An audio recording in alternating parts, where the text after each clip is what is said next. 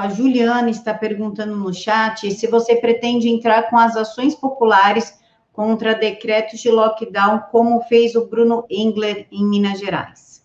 Já entrei com uma ou duas ações aqui contra o lockdown. Não, desembargador cantou e andou para mim.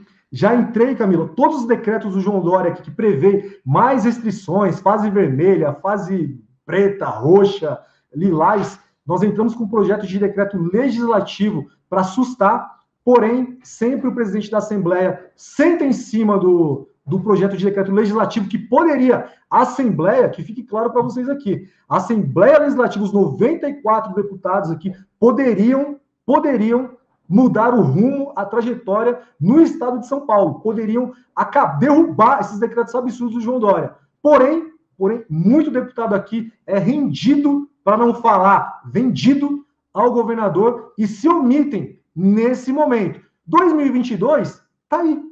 Cobre aí o seu deputado. Cobra agora, mas cobra no que vem principalmente. E vamos lembrar, principalmente, de deputados que se dizem católicos, de deputados que se dizem evangélicos, que têm aí o seu voto majoritário dentro das igrejas.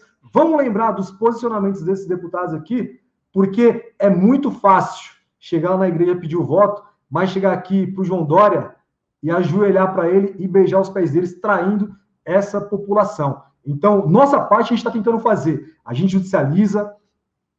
Infelizmente, aqui também o Tribunal de Justiça, olha, tem algumas decisões aí de desembargadores que dói no coração, a gente chora quando, quando lê. A gente entra com ações, com denúncias do Ministério Público e a gente entra com os projetos de decreto legislativos na Assembleia. Infelizmente, nós ainda somos a minoria aqui no Estado de São Paulo.